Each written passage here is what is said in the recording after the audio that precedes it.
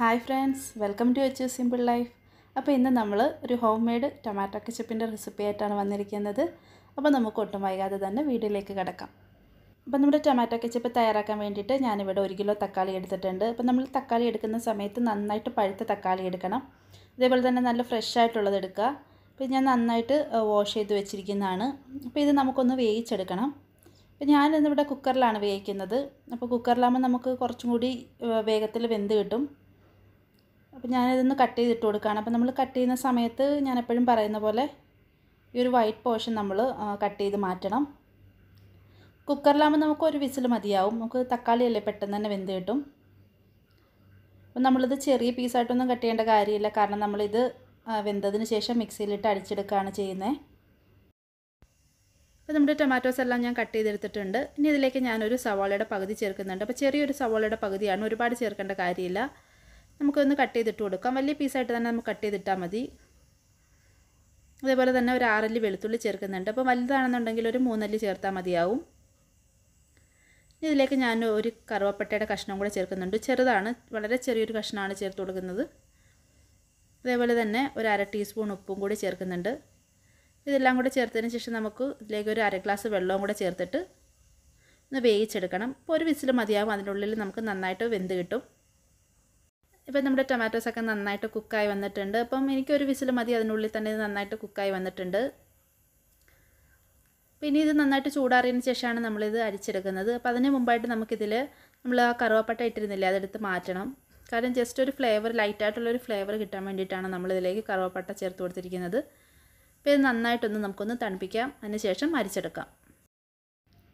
അപ്പോൾ നമ്മുടെ ടൊമാറ്റോസൊക്കെ നന്നായിട്ട് തണുത്ത് വന്നിട്ടുണ്ട്. അപ്പോൾ നമുക്കൊന്ന് അരച്ചെടുക്കണം. അപ്പോൾ നമുക്ക് മിക്സിയുടെ വലിയ ജാറിലിട്ടിട്ട് നന്നായിട്ടൊന്ന് അരച്ചെടുക്കാം. പൊട്ടും തരി പാടില്ല. നല്ല പേസ്റ്റായിട്ട് നമുക്ക് അരച്ചെടുക്കണം. അപ്പോൾ ഞാനിത് അരച്ചിട്ട് കൊണ്ടുവരാം. അപ്പോൾ നമ്മുടെ ടൊമാറ്റോസൊക്കെ ഞാൻ നന്നായിട്ട് അരച്ചെടുത്തിട്ട് വന്നിട്ടുണ്ട്. നമ്മൾ അര ഗ്ലാസ് വെള്ളം ചേർത്തിട്ടാണ് വേവിച്ചതെങ്കിൽ കൂടി കണ്ടില്ലേ നല്ല തിക്കായിട്ടാണ് വന്നിരിക്കുന്നത്. അപ്പോൾ നമ്മളിനി ആ ജാറിൽ വെള്ളമൊന്നും ഒഴിച്ച് കഴുകി ഒഴിക്കരുത്. ഇനി നമ്മളിതിൽ ഒട്ടും വെള്ളം ചേർക്കാൻ പാടില്ല. അപ്പോൾ നമുക്കിനി ഇതൊരു അരിപ്പ ഉപയോഗിച്ച് നന്നായിട്ടൊന്ന് അരിച്ചെടുക്കാം. ഇപ്പം നമ്മുടെ ടൊമാറ്റോസൊക്കെ ഞാൻ നന്നായിട്ട് അരിച്ചെടുത്തുകൊണ്ട് വന്നിട്ടുണ്ട്. അപ്പോൾ നമ്മൾ ഇത് തയ്യാറാക്കുന്ന സമയത്ത് നല്ല വിസ്താരമുള്ള നല്ല ഒരു കുഴിയുള്ള പാത്രത്തിൽ തയ്യാറാക്കുന്നതായിരിക്കും കുറച്ചും കൂടി ഈസി. അപ്പോൾ ഇത് നമുക്ക് സ്റ്റൗ ഓൺ ചെയ്തിട്ട് ശേഷം നമുക്ക് നന്നായിട്ടൊന്ന് കുക്ക് ചെയ്യണം. ഇപ്പോൾ കണ്ടില്ലേ ഇപ്പം തന്നെ നന്നായിട്ടൊന്ന് കുറുകിയിരിക്കുകയാണ് അപ്പോൾ നമ്മൾ വാങ്ങിക്കുന്ന ടൊമാറ്റോയുടെ ക്വാളിറ്റി അനുസരിച്ചിരിക്കും നമുക്ക് കിട്ടുന്ന കെച്ചപ്പ്. അപ്പോൾ നല്ല ഫ്രഷ് ആയിട്ടുള്ളതും അതേപോലെ തന്നെ നല്ല പഴുത്തതും നല്ല കളറുള്ള ടൊമാറ്റോസ് എടുക്കുകയാണെങ്കിൽ നമുക്ക് നല്ല പെർഫെക്റ്റ് ആയിട്ടുള്ള കെച്ചപ്പ് കിട്ടും.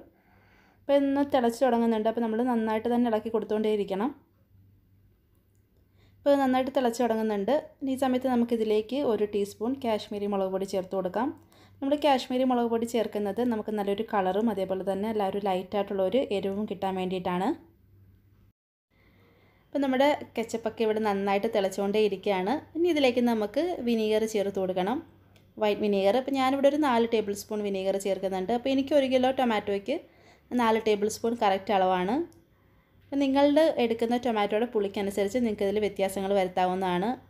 അപ്പോൾ ആദ്യം തന്നെ കുറച്ച് ചേർത്തിട്ട് പിന്നെ നോക്കിയതിന് ശേഷം ചേർത്ത് കൊടുക്കുന്നതായിരിക്കും കുറച്ചും കൂടി നല്ലത്. അപ്പോൾ ഇതെല്ലാം കൂടെ കൂടിയിട്ട് നമുക്ക് നന്നായിട്ടൊന്ന് മിക്സ് ചെയ്ത് കൊടുക്കണം. നന്നായിട്ടൊന്ന് ഇളക്കി കൊടുക്കാം. ഇനി നമുക്കിതിലേക്ക് ഷുഗർ ആഡ് ചെയ്ത് കൊടുക്കണം. അപ്പോൾ ഞാനിവിടെ ഒരു മൂന്ന് ടേബിൾ സ്പൂൺ പഞ്ചസാര ചേർത്ത് കൊടുക്കുന്നുണ്ട്. അപ്പോൾ മധുരമൊക്കെ നമ്മളുടെ ഇഷ്ടത്തിനനുസരിച്ച് ചേഞ്ചസ് വരുത്താവുന്നതാണ്.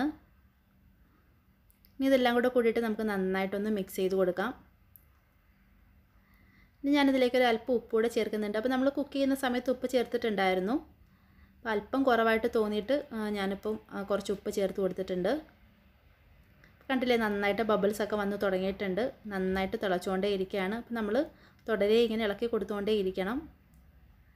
അതൊരു കുറച്ച് പണിയാണെന്നുണ്ടെങ്കിലും നമുക്ക് നല്ല ഹോം മെയ്ഡായിട്ടുള്ള പ്രിസർവേറ്റീവ്സ് ഒന്നും ചേർക്കാത്ത നല്ല ടൊമാറ്റോ കെച്ചപ്പ് നമുക്ക് വീട്ടിൽ തന്നെ തയ്യാറാക്കിയെടുക്കാൻ പറ്റും. കുട്ടികൾക്ക് കൊടുക്കാൻ കുറച്ചും കൂടി നല്ലതാണ്. അതുമാത്രമല്ല നമുക്കിതൊരു കേടുകൂടാതെ ഒരു മൂന്നാഴ്ചയോളം ഫ്രിഡ്ജിൽ സൂക്ഷിക്കാവുന്നതാണ്. അപ്പം നമ്മുടെ ടൊമാറ്റോ കെച്ചപ്പ് ഇവിടെ ഏകദേശം റെഡിയായി വന്നിട്ടുണ്ട്. അപ്പോൾ നമുക്ക് പെർഫെക്റ്റായിട്ട് കുക്കായിട്ട് കിട്ടിയിട്ടുണ്ടോ എന്ന് അറിയാൻ വേണ്ടിയിട്ട് ഒരു പ്ലേറ്റ് എടുക്കുക അതിലേക്ക് നമുക്ക് ജസ്റ്റ് ഒന്ന് ഡ്രോപ്പ് ചെയ്ത് കൊടുക്കാം. എന്നിട്ട് ഇങ്ങനെ ഒന്ന് ചരിച്ച് നോക്കുമ്പോൾ നമുക്ക് മനസ്സിലാവും. ഇതിലേക്ക് ആദ്യം വെള്ളമാണ് അടിയിലേക്ക് വരുന്നിട്ടുണ്ടെങ്കിൽ നമുക്ക് മനസ്സിലാക്കാം ഇത് തയ്യാറായിട്ടില്ല എന്ന് പക്ഷേ നമ്മുടെ ടൊമാറ്റോ കെച്ചപ്പ് ഇവിടെ റെഡിയായി വന്നിട്ടുണ്ട്. കണ്ടില്ലേ? നല്ല പെർഫെക്റ്റായിട്ട് കുക്കായിട്ട് നമുക്ക് കിട്ടിയിട്ടുണ്ട്. അപ്പോൾ ഇനി നമുക്ക് ഫ്ലെയിം ഓഫ് ചെയ്ത് വെച്ചതിന് ശേഷം നന്നായിട്ട് തണുപ്പിക്കുക.